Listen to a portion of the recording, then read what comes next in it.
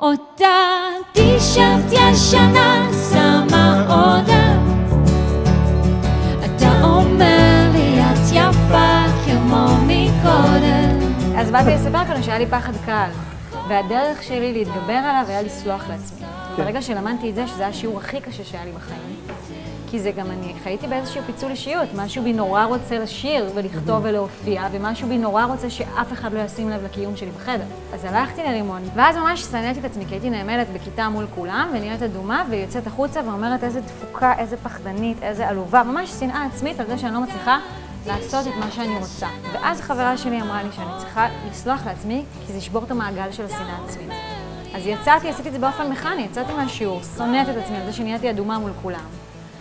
אמרתי, את עלובה, את פחדנית, את עלובה, ואז אמרתי, לא נורא שאת עלובה, לא נורא שאת פחדנית, כאילו ממש ככה באופן מכני, ולאט לאט זה כבר לא היה כזה נורא, וברגע שזה כבר לא היה כזה נורא, כבר לא כזה פחדתי כבר. עדיין ציר כדור הארץ מסתובב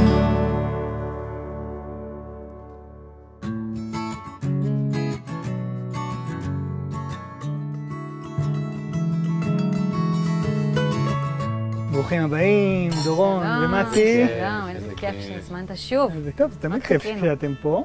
לחיים. לחיים. לחיים. חיים. איזה רוח. נעים אצלך, אפשר להתחלף אם אתה רוצה. דירת שלושה חדרים בתל אביב. לא, לא רוצה. אז אנחנו נפגשים אחרי החגים. ואחרי החגים יש לזה פוטנציאל של לאות. אנחנו מאוד בענייני הלאות. זה- אז רציתי זה לשאול תחום אותך. ההתמחות שלנו. יוצא אלבום, וזה חג, וזה הכל קורה. ואז מגיע אחרי החגים של האלבום. אני קצת אוהבת את הריק הזה. רגע, לא לעשות כלום. גם שלא קשור במוזיקה, שלא קשור בהתקדמות, שנייה להיות. תקופה דווקא מאוד מרגשת שאתה סיימת את המשימות שלך, אז פתאום אתה מתפנה לחשוב מה הדבר הבא שאני עושה. מתי ישר. בדבר הבא שהוא עושה, אתה מבין? כן. הוא גם ישר נלחץ שאין מה לעשות, וכאילו, מה- מה מה עוד צריך לעשות? אל תיקח אותי לחופשה. את נחה אחורנית, אתה חושב קדימה. בדיוק. יכול להיות בגלל שבגלל זה זה עובד, אתם בגלל זה התחתנתם, עובד, ובגלל. זה אתם יוצרים ביחד. אז תשמעו, נלך למטבח, אני אכין לכם היום אוכל טעים איזה כיף, שאתם. אוהבים. ואז אתם תשאירו לי את השיר החדש והמופלא שלכם, שיש בו קצת לאות, שיש בו קצת את האחר כך, את יש. האחרי. זה מוטיב חוזר אצלנו, יש- שתדע. יש בו קצת לאות, כן. יאללה, אז בואו בואו נבשל ונדבר. על זה. חיים, הבאים. חיים.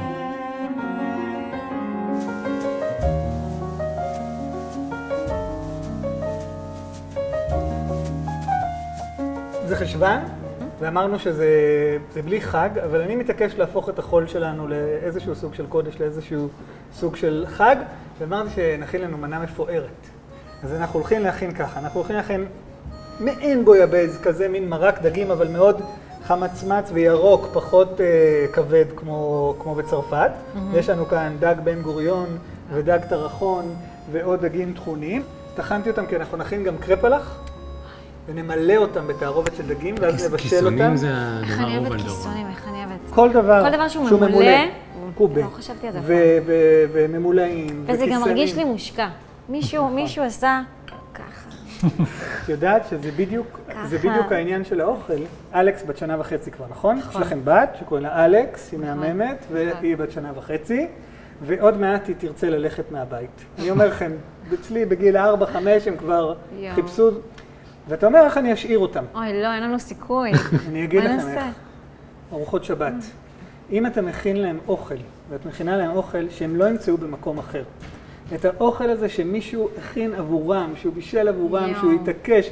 אז תראו, אנחנו נתחיל בלהכין ציר. כדי להכין את הציר, את הפילה של הדג, אנחנו נשמור ונוסיף אותו בסוף, אבל את העדרה וה... והראשים אנחנו נכניס לסיר, נוסיף מים וקצת ירקות ונכין ציר. כמה אנשים אה, ברחוב עוצרים אותך וקוראים לך ג'יין? לא כזה הרבה. זה כבר לא קורה? נכון בהתחלה זה היה אבל? לרוב מזהים את מתי דווקא. ואותי אומרים לי, את ממש דומה ממש דומה." לסולנית של ג'יין בורדו, או את אחות של הסולנית של ג'יין בורדו, ככה. כאילו כן, מזהים זה אותנו, קורה. וחושבים שאנחנו חברים שלהם או אחים שלהם. מעניין, איך אתם מסבירים את זה אגב? אנחנו נראה לי אנחנו זה? כזה לא המון בטלוויזיה, ומה שנקרא מדורי הרכילות. כן. אני חושב שאתם, חלק מהקסם שלכם, זה שאתם גם שרים וגם נראים כמונו. זאת אומרת, אתם שרים על הדברים שלנו. אז, אז יש משהו כזה, שזה נראה אחד מהחבר'ה, רגע, אני מכיר אותך מהצבא, אני מכיר אותך מה- מהשנת שירות, אני מכיר, לא, אתה מג'יין כן, בורדו. כן. אבל ג'יין בורדו זה הסוסים שהיו לך, נכון? ג'יין ובורדו? כן. יופי, אני רק, רק שם את זה פה, שידעו. שים, שים, תראה, רגע. אולי יש אנשים שלא יודעים. אז ימות החול. ימות אחרי החגים הגיעו, איך אתם מסתדרים עם זה? קודם כל נרגעים קצת מכל המשפחות. את לא? מדברת על החגים ה... עכשיו את מדברת על החגים האמיתיים. נכון. נגיד, חגים זה משהו שהכי הייתי רוצה לפגוש אתכם. אבל גם אתם וגם אני הולכים לפגוש את המשפחות שלנו, נכון? נכון. יש איזה משהו בחגים, שזה דווקא זמן שאתה פחות מבלה עם חברים. אני אוהבת את הסוג של, אה, לא רוצה להגיד כפייה, שלא. סוג של מסורת, מאוד יפה. הסוג של המסורת הזאת, שמכריחה אותי להתאמץ, שכולם ייפגשו, שכולם אה, נהיה תחת קורת גג אחת. כי אם לא היה את זה, אז לא הייתי פוגשת אותם, נראה לי. כי כולם נורא עסוקים, וכל אחד בעולם שלו, עם החברים שלו ועם הזה. אני איתך, אני דווקא ראש השנה עם חברים נשמע לי... כמו האמנתי, תיזהר, אני מסתבך עם סבתא שלך. אנחנו עשינו פעם נגיד סדר פסח עם אה, חברים, ואיך זה היה? די סיוט. זהו, זה גם, כן. סיוט, זהו. כן. משפחה לפחות כולם מכירים את כל כן, הסרטים משפחה, שלך. מה? גם משפחה זה כבר ידוע, הסיוט הזה, וצוחקים עליו. נכון. כן. חברים יש איזו ציפייה שזה אשכרה יהיה כיף. כן, בדיוק, כן. בדיוק. אז, אז בעניין הפיזי, נכון, עברו החגים וזה, אבל אני כאילו מתייחס יותר לעניין המטאפורי. אתם יודעים, אני פוגש פה מוזיקאים כל הזמן, אצל כל אחד זה משהו אחר. והשאלה הקבועה שלי, שהתכוונתי לשאול גם אתכם עכשיו, אתם קצת עונים עליה, זה מה עם רגעי ההשראה? כי אתה מוציא אלבום, ואז יש אה, אה, מסע הופעות כזה, נכון? שזה חג, זה כל הדבר הזה, זה תקופת החגים. ואז מגיע חשוון, וזה מבאס. אז אצלי זה קצת הפוך. לי זה נחמד. זה נח- זה כאילו חופש. אני פתאום בחופש. תשמע, לפעמים יש לי איזה שבוע שאני רואה רק, נגיד, נטפליקס עכשיו, אני באיזה בינג', אני רואה רק עכשיו סדרות, ופעם הייתי מרגישה עם זה קצת רע, ואז הבנתי שאני צריכה את זה. הדבר הזה, עכשיו לא? אני לא מועיל, אני לא פרקטי, אני לא עושה שום דבר כדי לקדם את עצמי, וזה בסדר. חשוב לי להגיד שאני גם לאו דווקא בשיטה של אה, כשתבוא המוזה. אני לא כזה מאמינה בזה. אני מאמינה שכשאני מוכנה לזה נפשית, אני עכשיו צריכה לשבת ולכתוב. כאילו, אני לא מחכה שזה ינחת עליי. תפילה, יהודי שמתפלל. הרבה פעמים הוא מתפלל, הוא לא זוכר את המילה האחרונה שהוא אמר. הוא בכלל אומר את זה ככה בשטף, לא קרה כלום. אבל אם הוא, יפ- אם הוא יגיד, אני אתפלל רק ברגעים שיש לי התעלות נפש ואני מרגיש חיבור, הוא לא יתפלל. בגלל זה הוא עושה את זה כל יום, ואחת ל... אתם יודעים. אני חושב, אני חושב שאנחנו קצת מיישמים אחד את הפרקטיקות של השני. תן, תסביר לי. שאני יותר באמת בא מהמקום של פשוט צריך כל הזמן אה, לעשות ולעשות, למרות שאני יחסית מאוד אה, לא סלחן לעצמי. אתה גם, אתה גם עסוק יותר, במוזיקה, אתה שותף בעוד אה, הרכבים, ואתה נכון. מנגן בעוד כן, כל הוא- מיני, הוא נכון? מפיק גם לעוד מוזיקאים. כאילו שזה זה... חלק מהדבר, מהאג'נדה הזאת כן. שלי, שאני כאילו, בשביל עצמי, מרגיש שאני כל הזמן חייב להיות בזה, שלפעמים זה גם חוסם, כי אתה כל כך מתעסק בהרבה דברים שאין אין מקום באמת אה, למחשבה. שאלה אישית בהקשר הזה, כן. אתה פרצוף. זאת אומרת, עדיף שכך. אתה אמרת, אבל יש עניין שאת, אה, כשאני שומע ג'יין בורדו, אני שומע אותך, אני לא שומע את מתי כמעט, עם הקונטרבס מאחורה, או לא משנה. אני שומע אותך. כשאני בא להופעה, או כשאני רואה קליפ, אני רואה אותך יושבת בתחנה עם הטישרט, וזה את, ואני חושב שהתגובות אלייך הן גם כאלה, ואז יש משהו ש, שמחזיק אותך, שמחזיק אותך בתעופה יותר זמן. ומתי, שהוא, ה- שהוא עושה את זה, את, ה, את המוזיקה, הוא צריך כל הזמן לשמוע את הסאונד כדי, כדי שזה יפעל. יכול מאוד להיות. לא חשבתי על זה. יכול מאוד להיות.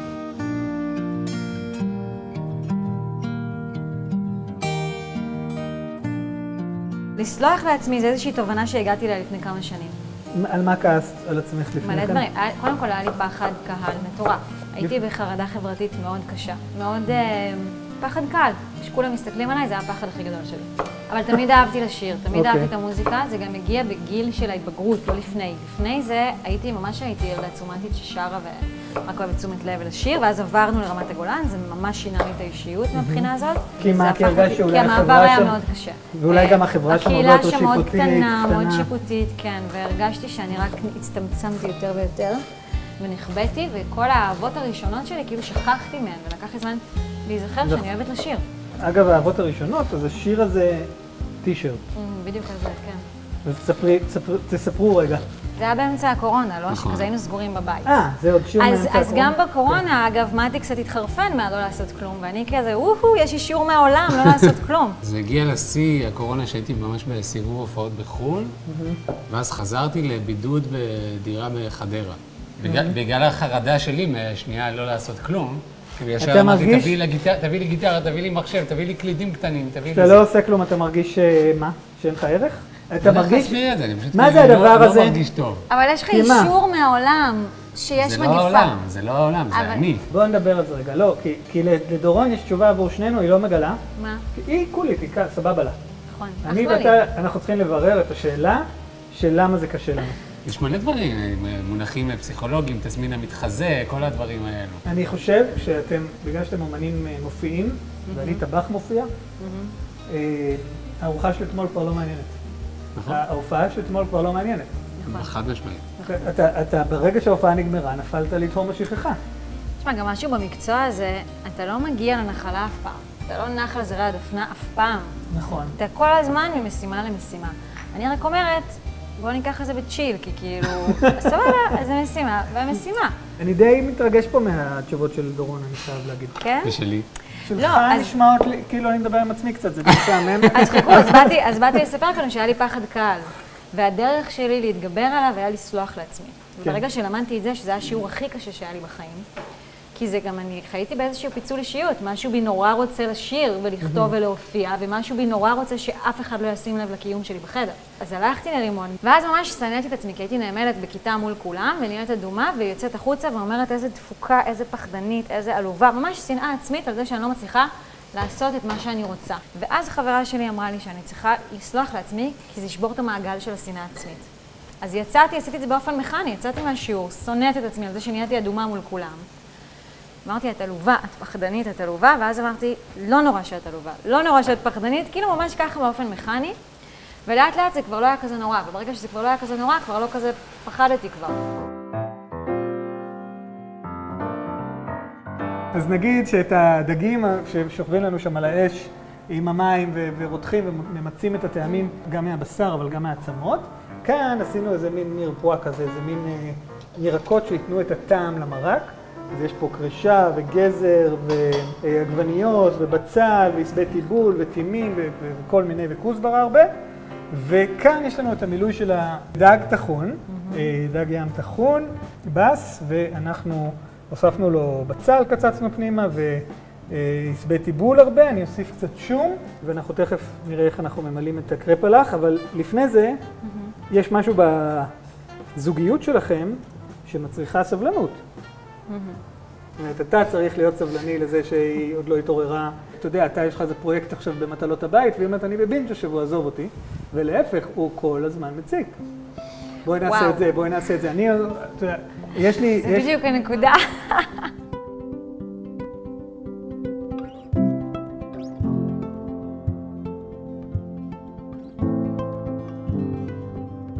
אנחנו עכשיו ניגשים למלאכת הכנת הכיסונים. עכשיו תראו, על פי המסורת נוהגים לרדד את הבצק עד דק במכונת פסטה, לקרוץ ממנה עיגולים, אבל אנחנו לא באירופה חברים. ואנחנו נעשה את הכיסונים בשיטה העממית שהייתה נהוגה המון שנים בקרב כפריות בערבות אה, אוקראינה, ואני אראה לכם. שלא היה להם מכונת פסטה. שלא היה להם מכונת פסטה או סבלנות, ושבעיקר, בהקשר לתחילת שיחתנו, היה להם חשוב שהילדים שלהם ידעו שהם הכינו את זה. אני לוקח את הנחש בצק הזה שעשיתי, זה בצק אה, ביצים, אבל לא, לא בצק פסטה רגיל, יש בו קצת יותר מים וקצת פחות ביצים, ואני קורץ ממנו מין אה, דיסקיות כאלה, זה לא משנה כל כך, והמשימה שלכם היא לקחת כל דיסקית כזאת, אני מחזיר אותה למצבה, תראו, אני מחזיר אותה למצבה העגול, יוצר ממנה מין דיסקית כזו, ומרדד מעט. ואז אני לוקח בכפית מן המילוי בנדיבות, אנחנו מכינים את האוכל הזה לאנשים שאנחנו אוהבים, מאוד אוהבים. בסדר? אנחנו מכינים אותם היום ללהקה, ואני סוגר, בסדר? דואג שהתפר יהיה תפר טוב, ואז לוקח אותו אחורנית, ועושה לו עוד כזה קווץ', ויש לי מין קרפלח, מדהים. שאתם תדמיינו איך הם מתבשלים בתוך המרק דגים הזה. וואי וואי. אז אנחנו אוכלים היום קרפלח עם כוסברה ועם יין לבן, ועם זה ערבבנו פה את כל הגלויות, אבל אלה הקרפלח שלנו, יפה? וואי, זה יפה. זה... רגע, עכשיו, רגע. תמתח לך קצת ותקפל. עוד טיפה ככה. הנה, זה. או, או.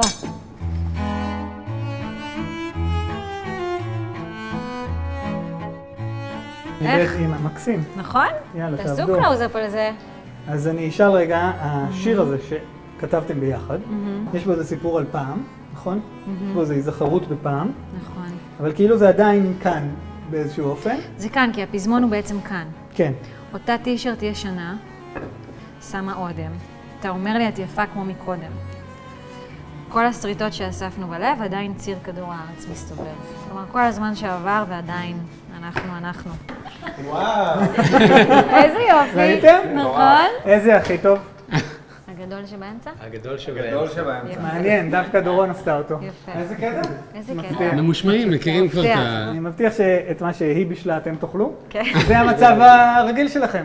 אז אה, זה לא רחוק פה הסלון. לא רחוק. לכו אוקיי. לנגן, יאללה. ואז אני אקרא לכם לשולחן. אנחנו צריכים להרוויח את האוכל, בקיצור.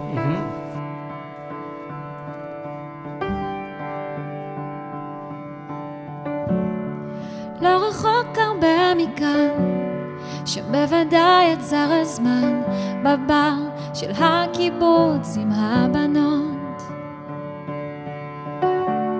בחוץ הכל היה לבן, בפנים כדור אורות עשן, רקדנו מול עיניים בוחנות. ישבנו אז בתחנה, אוטובוס מגיע פעם בשנה. הגג פתוח והכל נמס בלב. בביישנות דיברנו קצת, מהכל צחקנו, לא היה אכפת. סביבנו ציר כדור הארץ מסתובב, אותה טישרט ישנה שמה אודם. אתה אומר לי את יפה כמו מקודם. כל השריטות שאספנו בלב, עדיין ציר כדור הארץ מסתובב.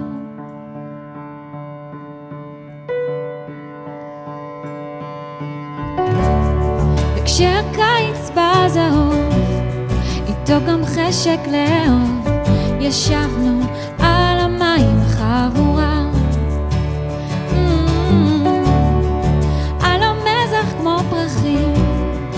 מלא ביקיני בצבעים, שמחכים לבריזה הקרירה.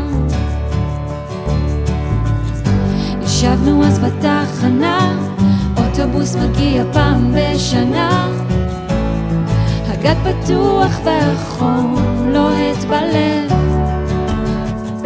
בביישנות דיברנו קצת, מהכל צחקנו, לא היה אכפת. סביבנו ציר כדור הארץ מסתובב, אותה טישרט ישנה שמה עודה. אתה אומר לי את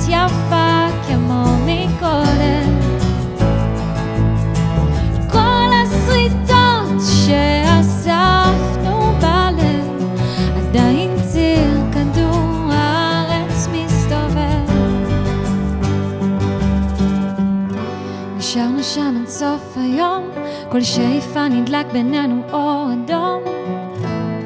הגג פתוח, השפתיים רועדות.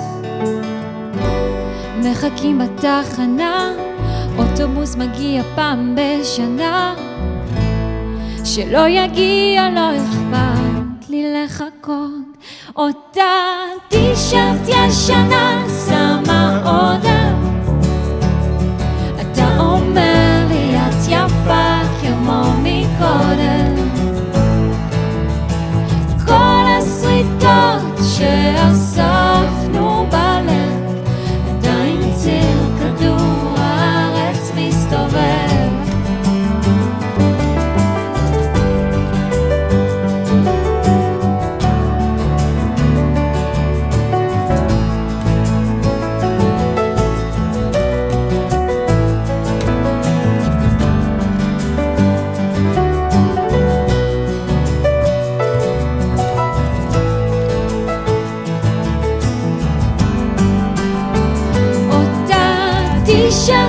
טישרט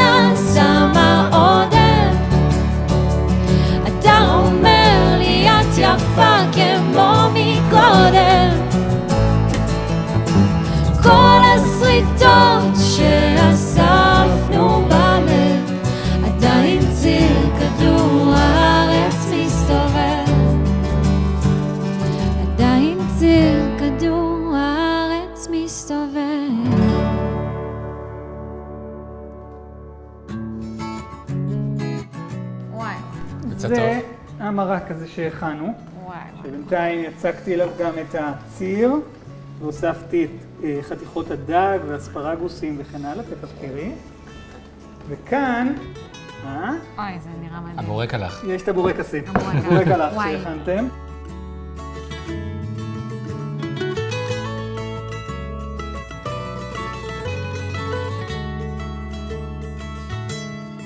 רגע, מה זה? רגע, מערבב, רק רגע. לא אנחנו- אתם. מקף בפנים כבר. חשוון שמח, ימי חול חשוון ברוכים. שמח לכולם. שהלאות תעבור לטובה, שתישאר קצת. ותודה לכולכם על זה שהארתם את הבית בקודש של ממש בימות החול האלה. תודה, תודה. כיף. חיים. לא, קודם שומעים אותך אומרת Mm, זה וואו. וואו, זה שינה לי את החיים, המרק הזה.